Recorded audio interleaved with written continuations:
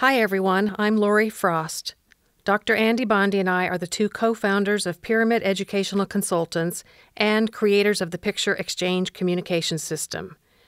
This presentation offers an overview about the Picture Exchange Communication System, known throughout the world as PECS. We will review how a clear focus on functional communication skills is coupled with highly effective teaching strategies to provide a system that has helped thousands of children and adults improve their communication skills.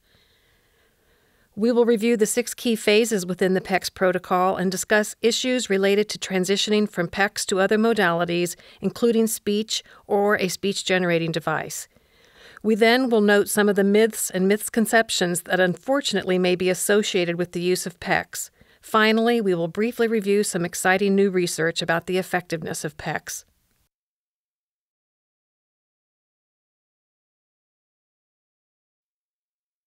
PECS is an approach that teaches early communication skills using pictures. PECS addresses the core communication difficulty faced by individuals with autism who are not using speech as their primary modality for communicating. This deficit relates to the limited responsivity to social interactions or social re- reinforcers, which can severely limit the range of communication skills learners develop. The first PECS lesson relates to the immediate wants and needs of the individual, what are the important reinforcers for each person, and how can they get those items and activities in a calm, communicative fashion? In the beginning of PECS training, we teach users to exchange rather than point to a picture. The exchange is crucial because it ensures that the user is interacting with the communicative partner. We also describe several strategies that promote rapid acquisition of spontaneous communication. That is, we want the user to initiate the communicative interaction and not communicate only in response to prompts or cues by their communicative partner.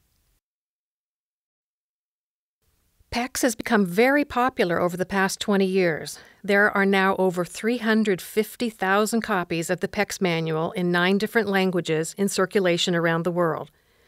The first publications about PECS were in 1992 and 1994. Since that time, nearly 90 additional publications and reports have appeared in over 15 different countries. Most of the studies on PECS have addressed single case designs or case descriptions. But there are also several group and controlled group studies as well. Studies have addressed issues related to, the, to PECS use itself, the co development of speech in many users, behavioral improvements noted regarding many users, as well as issues concerning reliability of implementation by professionals and parents. Furthermore, there are at least six recent articles that simply review the existing literature regarding PECS. With over 25 publications appearing within the last two and a half years, it isn't easy to keep up with all the new information. The best way you can do this is by visiting our website, pecs.com, and finding the link on current research. This area is updated several times a year and includes abstracts on every publication of which we are aware. In order to implement PECS effectively, educators and parents must be able to use effective educational strategies. Many years ago, while heading a statewide school program for students with autism, Andy developed the pyramid approach to education in order to guide the design of effective educational environments within school, home, and community settings. The pyramid combines an emphasis upon functional communication and the best evidence based strategies within the field of applied behavior analysis. Without the skillful use of the elements of the pyramid, it is unlikely that a child or adult will learn to use PECS effectively.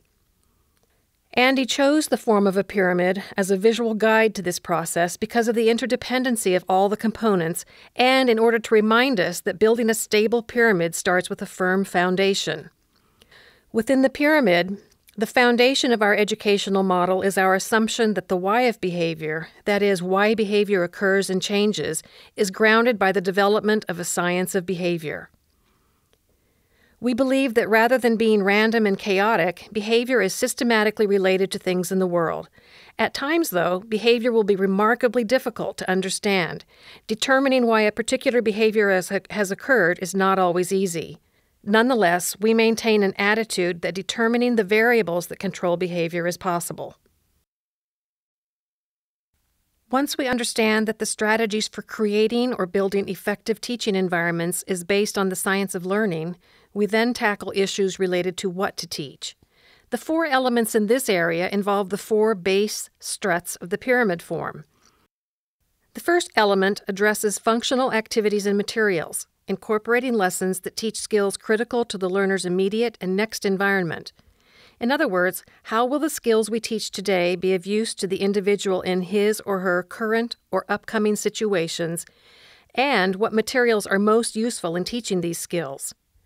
Next, we look at various motivational issues by planning for the use of powerful reinforcement systems. Herein, we rely on simple principles such as using a reinforcer first strategy and visual reinforcement systems. Next, we consider whether we need to teach or refine certain critical functional communication skills. We will go into more depth on this issue in a moment, but our goal is to teach communication skills that are critical for optimal independence.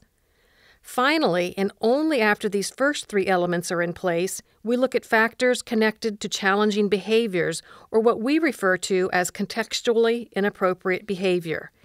In this, our primary focus is on determining why a particular behavior is occurring or how it is functionally related to the surrounding events.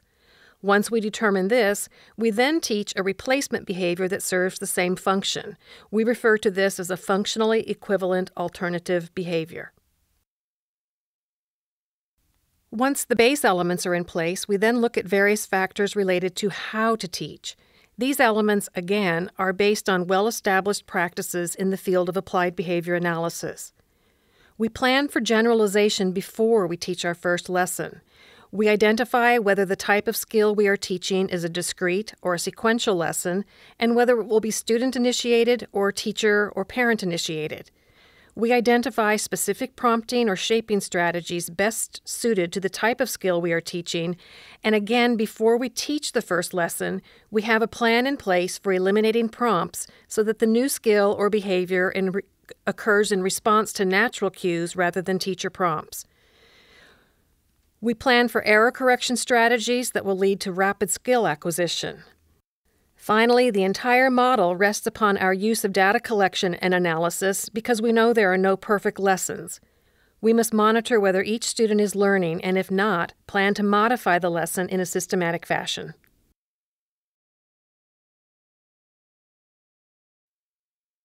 Let's focus our attention on the issue of communication. What is it? First, we do not believe that all behaviors are communicative. If I pick up a cup and drink some water, I have simply manipulated something in the environment and arranged for my own reinforcer, the water. There is no communication in this act because I can do it while alone just as, I, as well as I can do it in a group of people. On the other hand, if I let someone else know I want water and that person gives me the water, then we can define that act as an act of communication. Simply stated, communication requires at least two people one directs some action towards another person, and that second person provides some type of reinforcer. We define the speaker as the one directing an action to someone else, and the listener as the one who provides the reinforcement. To illustrate this, take a look at the play area you might see in a classroom, school, or child care center. A young girl can approach the play area, see a doll she wants, and reach for and get the doll. Using our definition of communication, we would say that she did not communicate. If someone stands between her and the doll, she can do several things to still gain access to the doll. She can push that person aside and get the doll on her own. This again would not be communication. Or she can do something to that person that would cause him to give her the doll. That would be communication. She can do several things. She can speak to him, gesture to him, sign to him, give him a picture, any of these actions would be communicative. If she merely points to a picture on the wall, this might not involve communication because she may not be doing something to another person. Only when she does something directly to another can we safely identify that functional communication has occurred.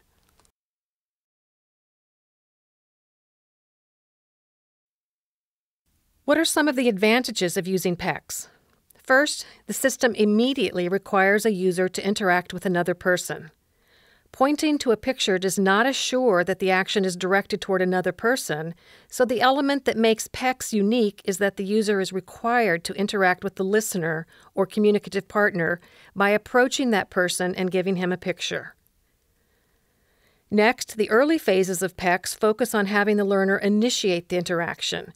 She does not need to wait until someone asks, What do you want? PECS also begins by focusing on requesting or manding in Skinner's terminology, rather than commenting or tacting. This strategy will help rapid acquisition because for many students, especially those with autism, material reinforcers are more powerful than social rewards. Finally, all the phases and changes within the PECS protocol are based upon the analysis of language offered by B.F. Skinner in his book Verbal Behavior. While it is not necessary to use or fully understand his analysis, it's useful to know that the components of PECS are based upon such a well founded behavioral analysis.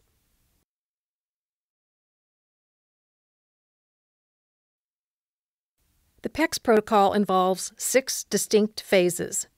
The goal in phase one of PECS is to teach the how to communicate or how to approach people to initiate communication.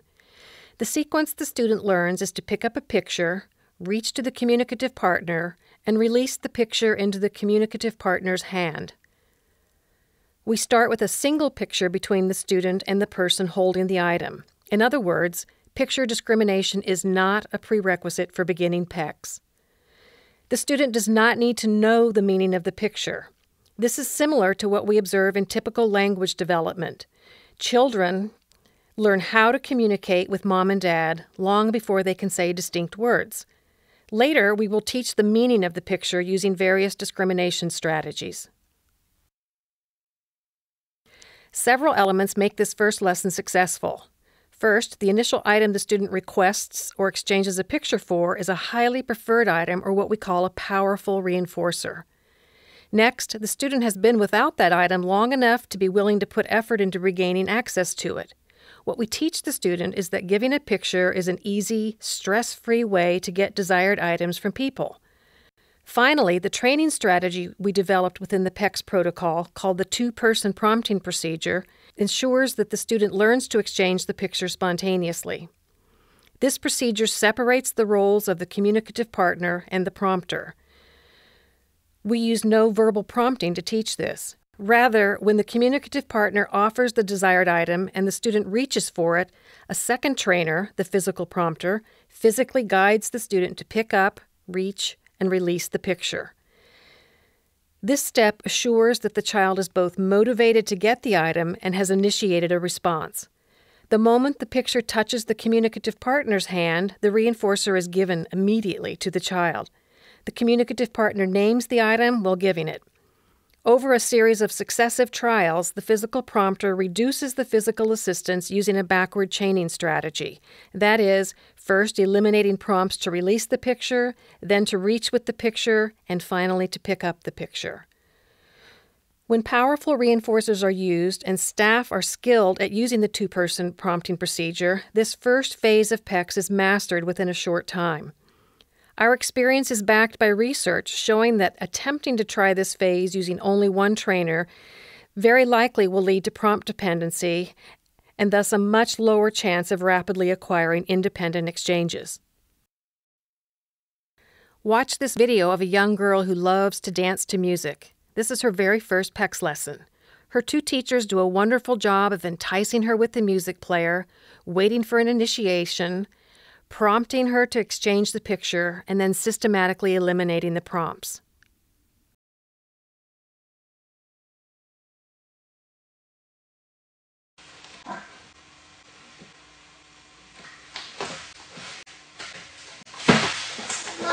Мурчи!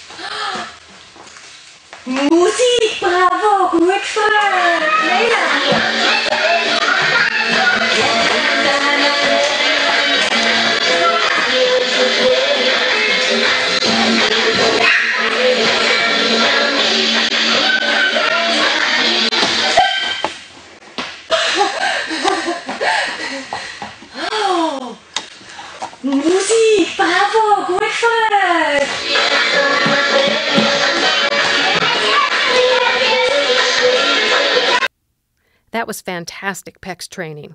We believe that you and your students should be having just as much fun with your lessons.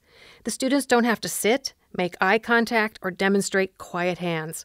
The first lesson should take place where the preferred items are in the kitchen, on the playground, in a classroom, wherever the student likes his particular items. Note that some aspects of this Phase 1 lesson are structured. The communicative partner is immediately in front of the child, showing something that is desired. A single picture is between the student and the communicative partner. Over time, the communicative partner moves further from the child, turns away from the student, moves into the next room, and removes all attention from the child. We use shaping to systematically ensure that the student can travel further and further to get the communicative partner's attention. We provide each student with a PECS book, and at this early stage of training, we arrange for the picture of the item the student currently wants to be on the front of the book. The student learns to carry his book with him and to take it from room to room. These and other changes are made gradually so that generalization of the use of PECS is learned very early in the teaching process. Other factors within Phase 2 include using PECS with different people, including peers and siblings, in different settings within the school and at home and in the community, and using PECS with a wide variety of reinforcers, not simply at snack time and at lunchtime. It's our responsibility to assure that the student will use PECS in all situations with everyone possible. The next step within the PECS protocol involves teaching simple discrimination. Many people mistakenly begin discrimination training by showing the student several pictures of desired items all at once. The problem with beginning with this approach is that some students quickly see that every picture is a good one to use. No matter what I give my teacher, she gives me something I like. Instead, it's more effective to begin with a sharp distinction between two choices something the student really likes versus something that is not at all reinforcing. In this example, a student loves to play with the Rainmaker toy but has no use for the funnel. When given this choice, we can readily anticipate what the student truly wants. That helps us provide immediate feedback on the selection, that is, touching the picture of the Rainmaker. If the student makes an error, she gives the funnel picture, we use the four step error correction procedure, a strategy developed by Andy that ensures that the student independently exchanges the correct picture rather than a picture that the teacher shows him to exchange.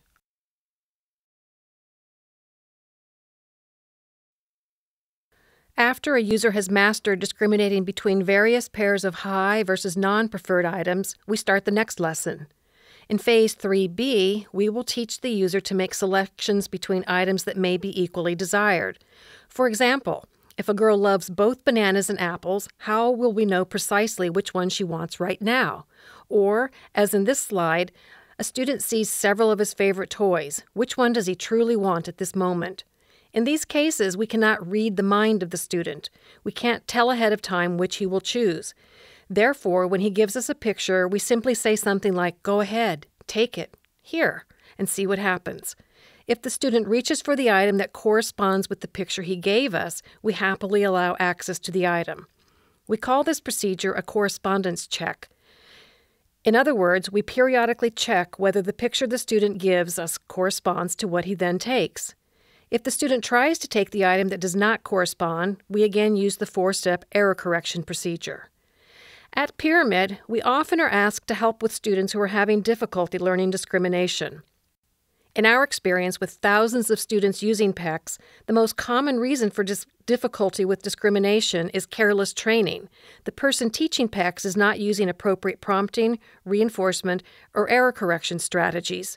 So if you encounter a student having difficulty with discrimination, make sure the fidelity of treatment is in place.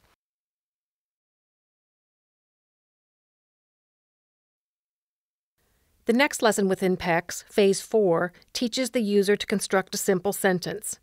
We continue to focus on the function of requesting, but now add a new step for the user. We teach him to create sentences with an I want sentence starter picture, plus the picture of what is desired. Please note that the I want sentence starter is a single picture.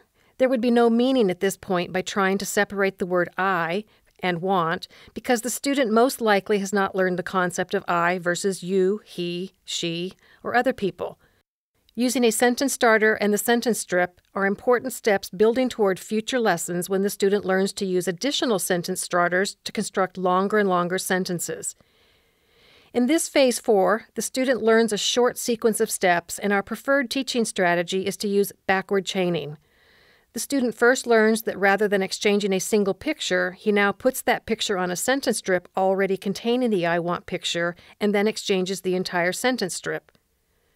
The student then learns to construct the entire sentence strip by putting the I want picture on the left side of the strip, the picture of the desired item on the right side, and then exchange the entire sentence strip.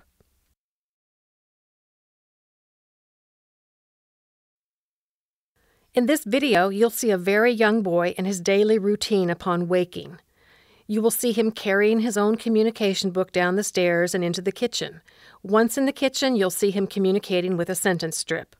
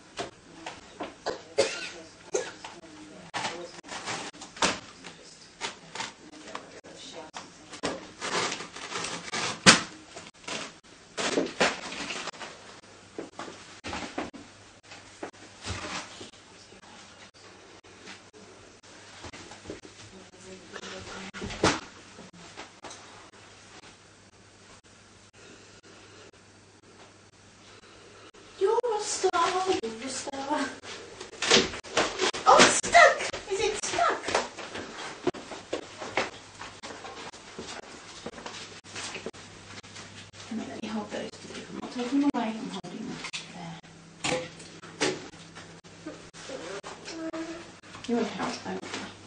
There you go. Come here, sweetie. Let's just go this way.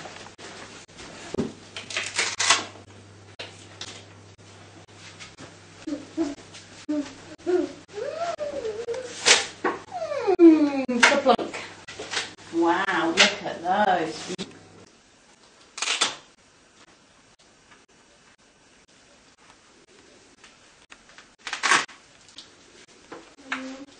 I want bread and butter, okay.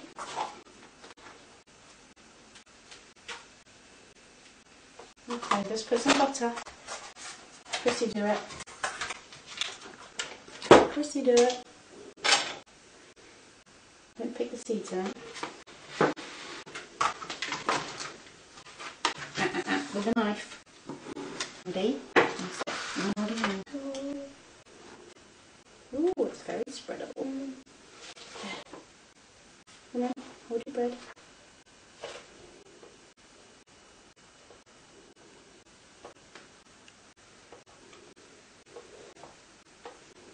Mmm, yummy. Should we cut it? Cut. Cut.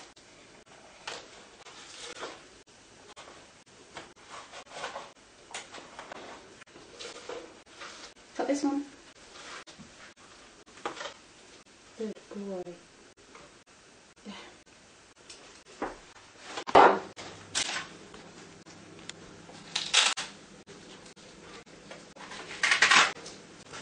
Good boy. I want marmite, bread, and Okay. Is that a clean knife? No. Good boy. Little bit. Little bit. There you it. Press into it. Hold it. Hold it. Spread. Good boy. There.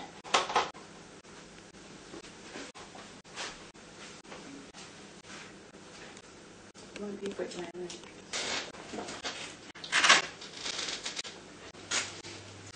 Oops! Oh no, we got butter on it. Oh no. Can you wipe it off? Good boy. Thank you. Lovely. All nice and clean. Where was we? I want.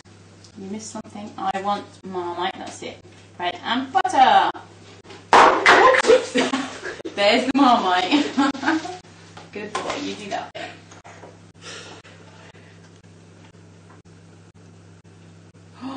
Oh, too much, Chrissy. Too much. Little bit. Look, little bit. Wipe it.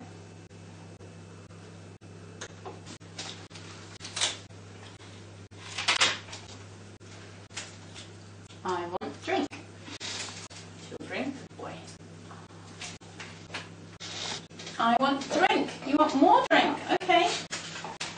Thank you.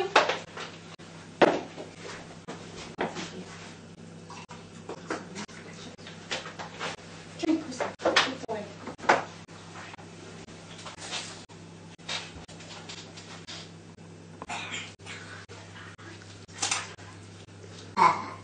Oh, pardon, Chrissy. Do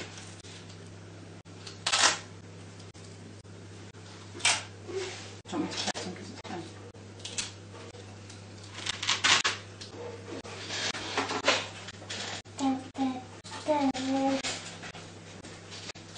I want bread, marmite, and butter. Mm, yummy. Notice what a great teacher his mother is. This is not school. Rather, his mother creates effective lessons while engaging in important functional activities such as eating breakfast, spreading, and cutting. And although this young boy did not speak, he was really an excellent communicator. Once a user has learned to construct simple sentences, PECS training continues along two different paths. On one pathway is moving on into phase 5 and 6 lessons. The other involves teaching the user to make very specific requests. The student learns to ask for items according to attributes that are important from his perspective. For example, Andy and I like two different kinds of cookies. My favorite is a decadent chocolate cookie. Andy's favorite is a butter cookie. So if we were asking for cookies, we would need to be very specific about what kind of cookie we want. I could ask for a brown cookie, and Andy could ask for a yellow cookie.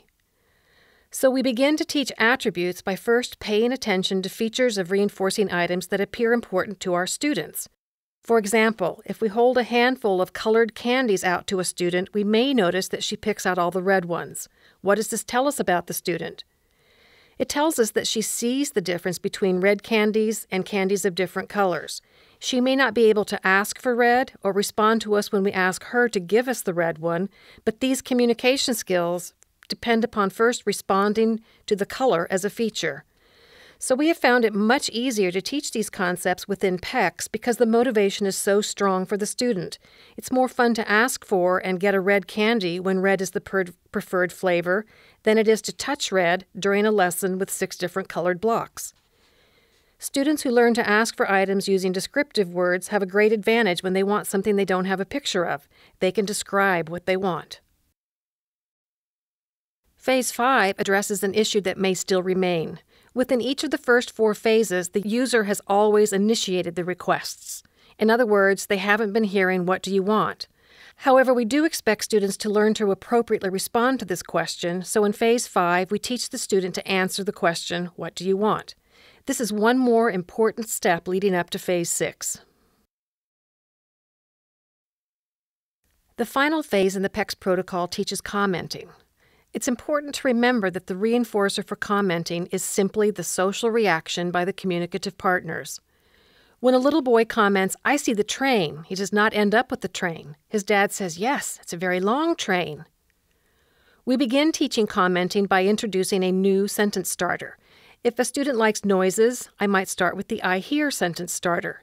If he likes to look at things, I might start with the I see sentence starter. In order to create effective commenting lesson, we need to grab the student's attention. We do this by creating events that are dramatic or surprising. Nothing is more boring than trying to get a student to name the 10 items you've placed on a tabletop. When we begin Phase 6 with students who are not strongly motivated by social consequences or reactions, we anticipate that the first comment will not be spontaneous, but will be in response to a direct question. We begin by building upon what the student learned in phases 4 and 5, using a sentence starter and responding to a question. So we start by asking the question that corresponds to the new sentence starter we've chosen. That is, we start by asking, What do you see? or What do you hear? Over time, we gradually eliminate the question and try to promote spontaneous commenting. This last skill may be difficult for some individuals with autism, so be patient. PECS users also will need to learn to discriminate between what do you want versus what do you see and additional commenting questions. They will need to use the appropriate sentence starter for each communicative function. So, once a student completes all six phases of PECS, he will have learned to request spontaneously, to request responsively, and to comment spontaneously and comment responsively, and to do all of this using a variety of attributes. We can continue to add more lessons within these final phases to teach the student longer sentences, use of a variety of grammatical forms, and a comprehensive vocabulary.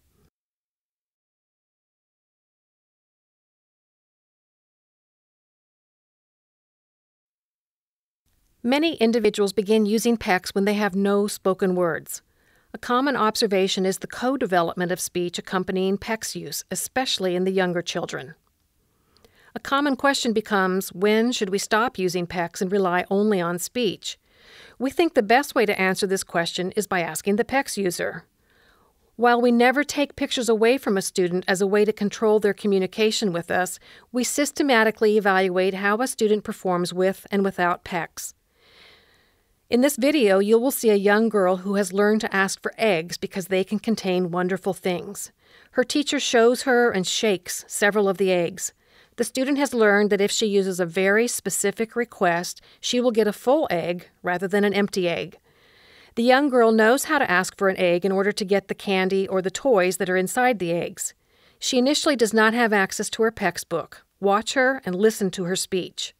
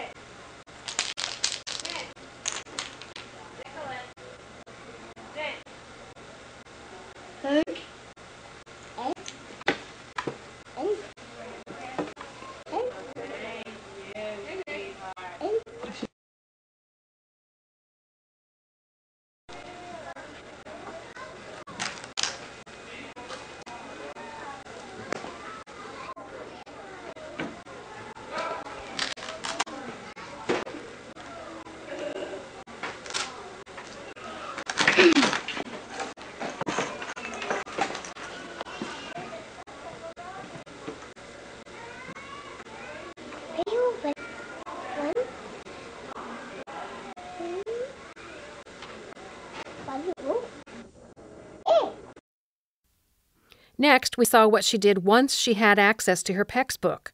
What is this girl telling us? Without access to her picture, she did speak. She said egg several times. It wasn't clear, though, that she was talking to her teacher. However, once she had access to her pictures, she constructed a complex sentence strip, approached the teacher, and said, I want one big blue egg. It's clear that if we want her to display complex communication skills, she needs access to her pictures. To deny her access to them would be unethical.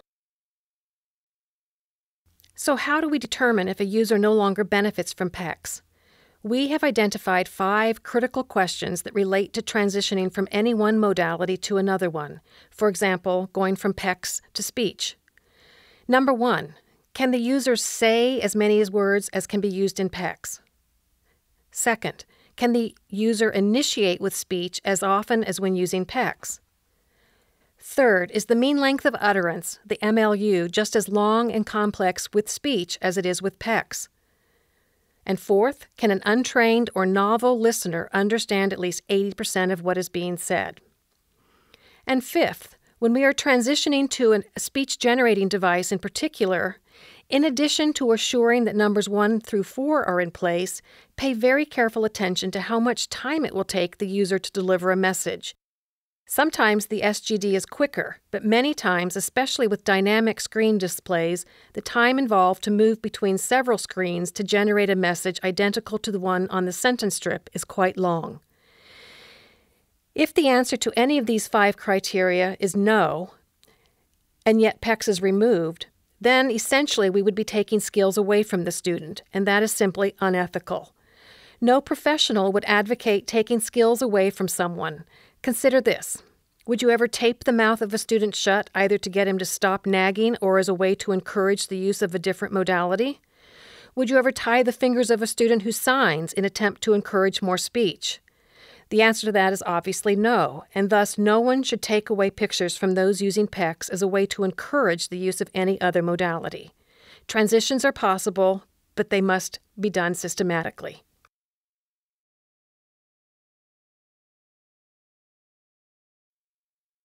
Let's take a look at some of the research findings regarding PECS. Our first publication about PECS were in the early 1990s. As we noted earlier, there has been a virtual explosion of research involving PECS use and PECS training. In general, there is growing support indicating that PECS use facilitates the acquisition and expanded use of speech, often is associated with improvements in various social skills, including factors related to joint action routines, and often is associated with improvements in behavior management concerns. Research also supports that users can create novel sentences with their pictures to describe new items, children can use PECS with their peers and siblings, and that parents and paraprofessionals can faithfully implement the protocol. In part because of the popularity of PECS around the world, there are a number of myths and misconceptions about PECS. First, the acronym PECS has become somewhat generic. Thus, some people seem to believe that any use of pictures is PECS. As you've seen in this short talk, PECS is an alternative or augmentative form of communication that people use to communicate with others. It's an expressive form of communication. As its name specifies, PECS involves the exchange of a picture. Picture point systems are not PECS. People who use PECS are spontaneous communicator. If a student relies upon someone saying, What do you want? or Go get your pictures, that's not PECS. Of course, pictures can be used to help people better understand us. That is, we can use pictures to teach direction following. But such a use of pictures is not PECS, nor is the use of pictures within a schedule equivalent to PECS. Yes, we think it's a very good idea for children and adults to have visual aids with regard to schedule use and even transitions, but in these situations, the parent or teacher is showing a picture for the user to respond to. That also is not PECS. Remember, PECS is an expressive form of communication.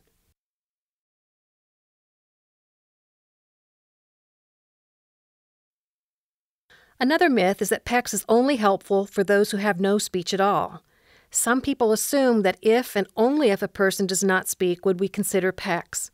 This is a serious misperception because it ignores that PECS may serve an augmentative function for many users. That is, while using PECS, a student might speak more words, initiate more frequently, or use more complex sentence structure. Some people believe that PECS is only appropriate for young children. However, both our direct experience and examples within the literature demonstrate that teenagers and adults also can effectively learn to use PECS. Another myth is that PECS only teaches users to request favorite items. While the early phases of PECS do focus on the request or mand function, we strongly encourage you to work on the later phases of the protocol to assure that attributes and commenting skills also are addressed. Perhaps the biggest fear associated with PECS is that if a student uses it, he or she will not learn to speak or might even stop using what little speech he or she has. In over 20 years of experience, we have never seen this fear materialize. We are not aware of any cases in which PECS use interfered with speech acquisition or production. In over 40 years of looking into this question with a wide array of modalities and systems, the broad field of alternative augmentative communication has not documented this negative outcome. Rather, all of the current research shows that the use of PECS and other AAC strategies improves the likelihood of speech development and expansion. Finally, perhaps because PECS was developed with young children with autism, some people think it is only useful for those with autism. Again, both our experience and many examples in the literature demonstrate that people with a wide variety of disabilities that impact on communication will benefit from the use of PECS. I've used PECS with a boy who was 16 months old and also with a man who was 77 years old.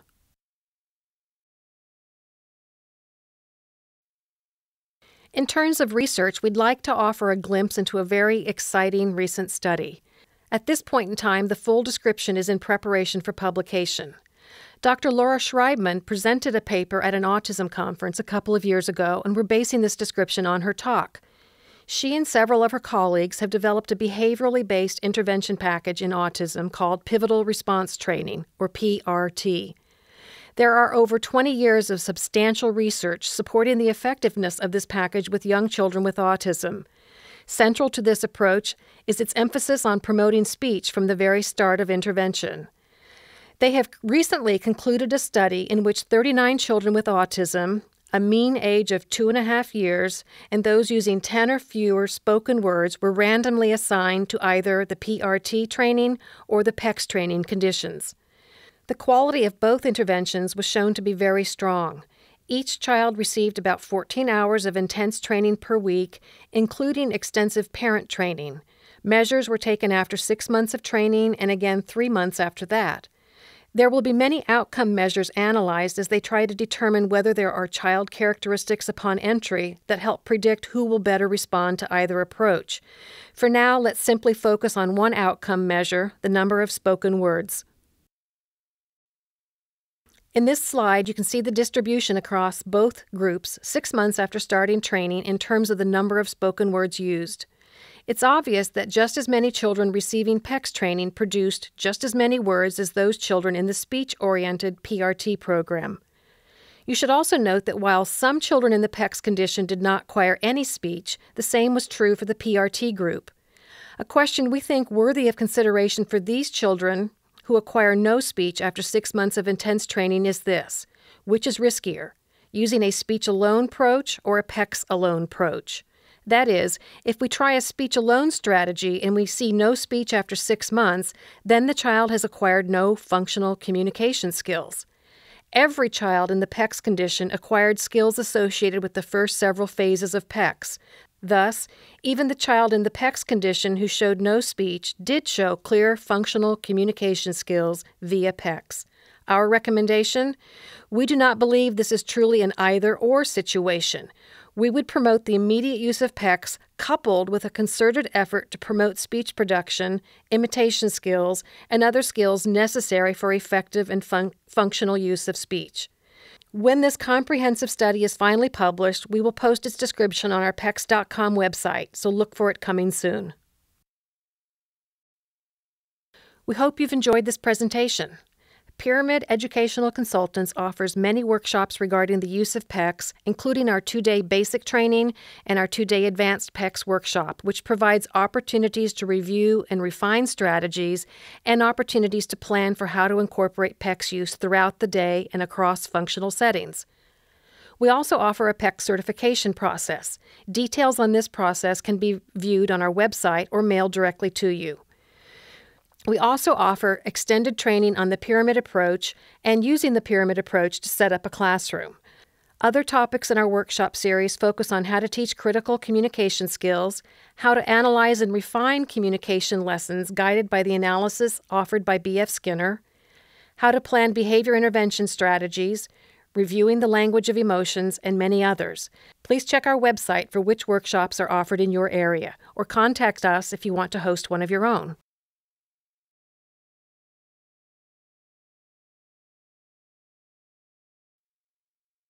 If you have questions about PECS use or implementation, there are many types of help available, including a PECS message board on which you can post your question.